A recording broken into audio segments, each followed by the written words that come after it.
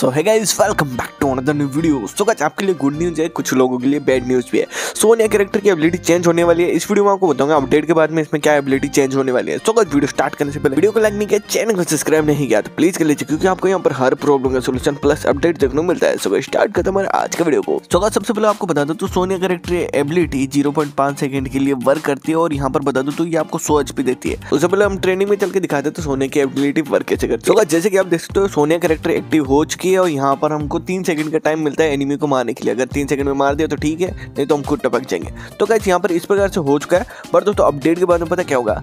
Guys ये 0.5 की जगह 0.4 सेकंड कर दिया जाएगा, यानी कि और कम कर दिया जाएगा। इसके अलावा दोस्तों, आपको यहाँ पर देखने को मिलती है सौ एच जिसमें आपको एनिमी ईजिली मार सकता था। बट दोस्तों, अभी आपकी एच हो जाएगी पचास। मतलब सौ की जगह पचास एच देगी हमारी सोनिया कैरेक्टर मतलब भाई, बहुत ज़्यादा खतरनाक कम कर दिया गया है। मतलब बहुत ज़्यादा मतलब बोले तो गेम में गेम खराब करने के लिए सोनिया कैरेक्टर काफ़ी थी।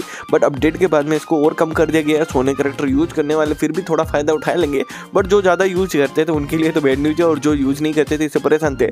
वो तो इससे बहुत ज़्यादा खुश हो जाएँगे इस वाले अपडेट से। इसके अलावा दोस्तों, आप इससे खुश हो या दुखी हो, बहुत ज़्यादा खुश होने कैरेक्टर की एबिलिटी को थोड़ा थोड़ा कम किया जा रहा है। अब दोस्तों, आपको कमेंट करके बताना कि आपको वीडियो कैसा लगा। अगर आपको वीडियो अच्छा लगा तो चैनल को सब्सक्राइब कर लेना बेल आइकन के साथ में। और हाँ इस वीडियो को लाइक करके अपने दो दोस्तों में ज़रूर शेयर करना जो सोनिया ज़्यादा यूज़ करते थे। इस वीडियो में तो मिलते हैं नेक्स्ट वीडियो में। Thank you